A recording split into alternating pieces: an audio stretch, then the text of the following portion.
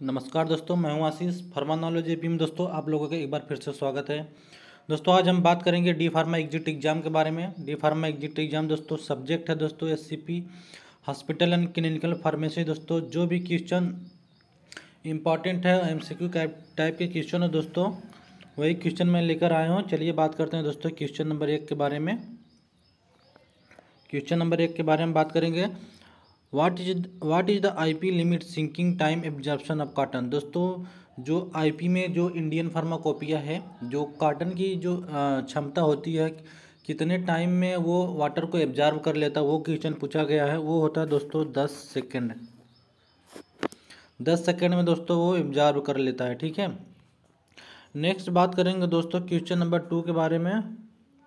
Question number two के बारे में बात करेंगे दोस्तों। The normal value of hemoglobin in in fact जो नॉर्मल वैल्यू होती है दोस्तों ब्लड की नॉर्मल वैल्यू जो एचबी की नॉर्मल वैल्यू होती है ब्लड में कितनी होती है इन्फेक्ट में दोस्तों, वो होती है सोलह से अठारह, सोलह से अठारह ग्राम परसेंटेज ठीक है? नेक्स्ट क्वेश्चन की बात करेंगे दोस्तों at at what temperature in the blood can be store दोस्तों, जो कितने टेम्परेचर टेम्परेचर पर दोस्तों ब्लड जो है स्टोर किया जाता है, वो किया जाता है। बी वाला दोस्तों सही हो जाएगा। नेक्स्ट चलते हैं दोस्तों if the bed size of एक सौ एक, तीन सौ। एक सौ एक से लेकर तीन सौ अगर बेड है दोस्तों then many pharmacist should be there तो उसमें कितने फार्मासिस्ट दोस्तों होंगे?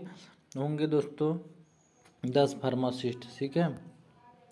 नेक्स्ट बात करेंगे दोस्तों what what is the length of tube of transfusion set दोस्तों, जो बीटी सेट होता है, जिससे ब्लड ब्लड चढ़ाया जाता है दोस्तों, उसकी लेंथ कितनी होती है? उसकी लेंथ दोस्तों होती है छः फीट ठीक है?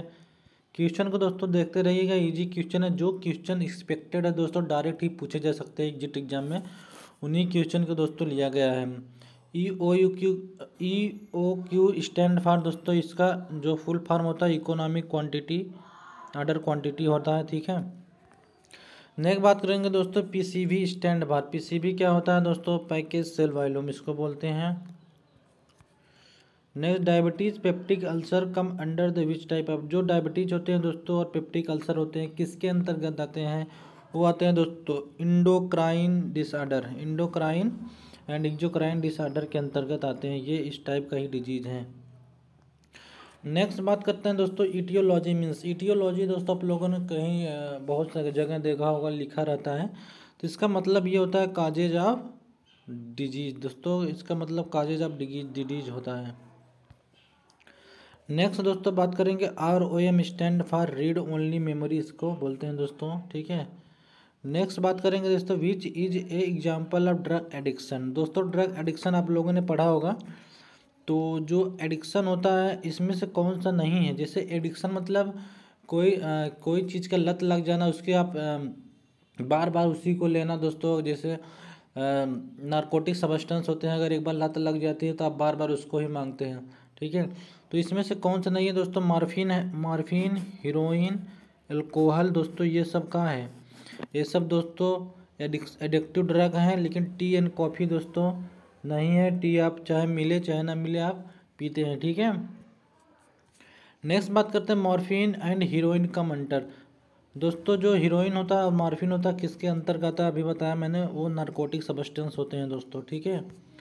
नेक्स्ट बात करेंगे is a state resulting from the repeated use of the drugs is a state resulting from the repeated use of the drug इसका मतलब है दोस्तों ड्रग हैबिचुअन दोस्तों, किसी चीज़ की अगर हैबिट हो जाती है बार बार उस, उसी चीज़ को अब रिक्वायरमेंट होती है, ठीक है? वही क्वेश्चन पूछा गया है।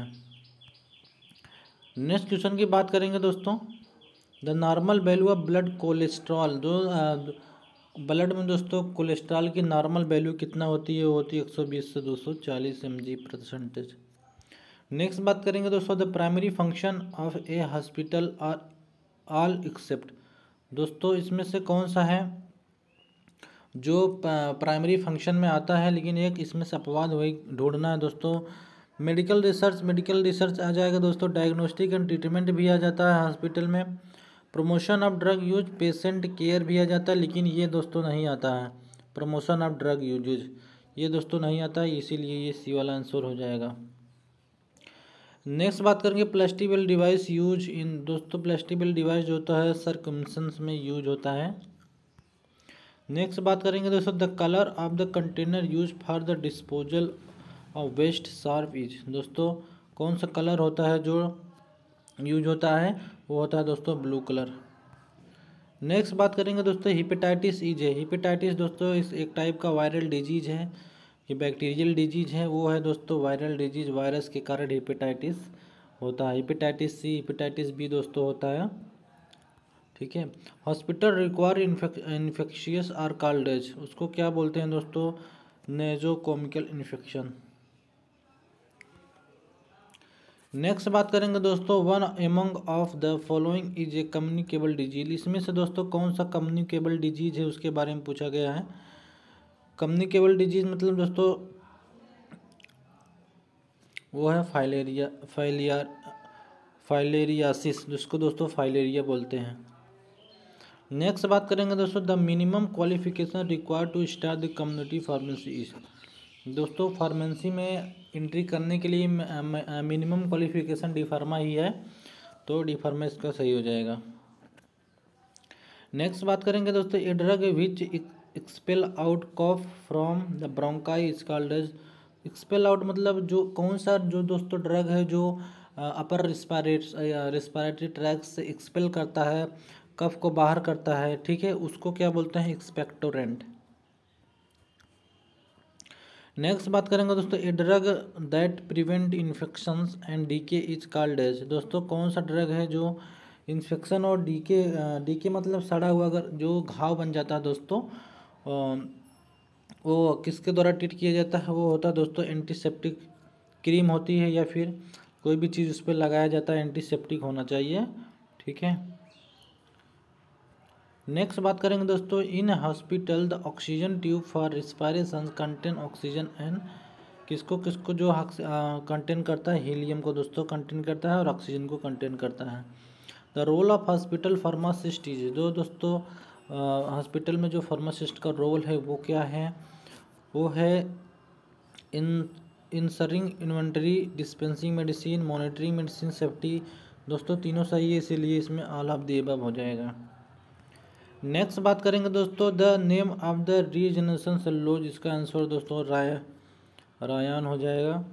नेक्स्ट बात करेंगे दोस्तों which is not the follow not salient feature of the hospital pharmacy which one of the following is not a salient feature of a hospital pharmacy इसमें दोस्तों design and new drug B वाला दोस्तों सही हो जाएगा। Next बात करेंगे दोस्तों the which of the following is not adhesive plaster इसमें से कौन सा दोस्तों अधेसु प्लास्टर नहीं है, वो है दोस्तों बी वाला सही हो जाएगा।